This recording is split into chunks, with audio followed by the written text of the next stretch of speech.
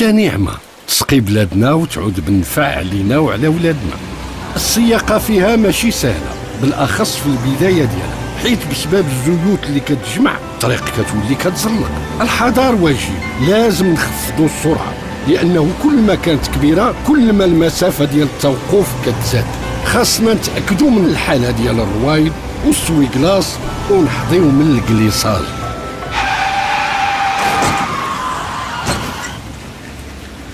هاد المرة خرجت جرة سلمى. ولكن ماشي ديما كتخرج جرة سلمى. فوق الشتا نزيدو نردو البال.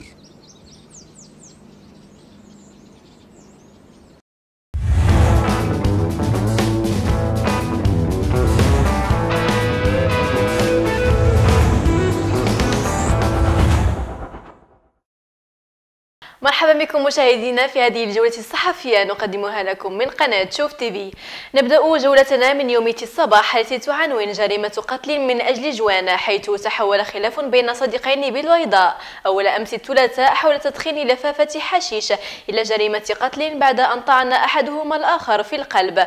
وحسب مصادر الصباح فإن الجريمة التي وقعت بمنطقة العنق أثارت استغراب السكان الحية بحكم أن المتهم والضحية لدين يبلغان من العمر على التوالي 58 سنة و40 سنة.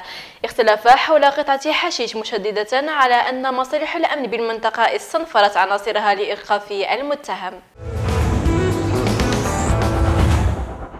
وإلى يومية المساء تفاصيل مثيرة عن رواتب مغاربة داعش. إذ يصل راتب مغاربة تنظيم داعش إلى ما يقارب 1200 دولار شهريا بالإضافة إلى منازل مستأجرة فرديا في حال كان المقاتل متزوجا أو يرغب في التزويج من فتيات سورية حسب شروط الشريعة الإسلامية كما جاء في تقرير يكشف رواتب المقاتلين الأجانب في التنظيم.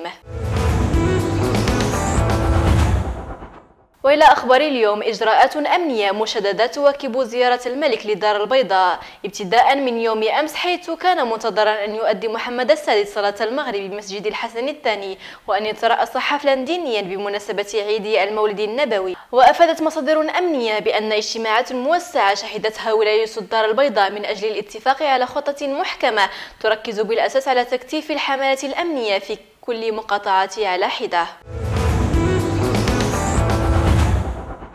ونختم من أسبوعية المشعل التي تطرقت لملف المقدمين والشيوخ حيث سمتهم بعلبة الأسرار الخطيرة وعيون الدولة التي لا تنام كما يكشف هذا الملف مجموعة من قصص المقدمين والشيوخ استسقتها الأسبوعية من مصادرها. جولتنا الصحفية انتهت. شكرا لحسن المتابعة وإلى اللقاء.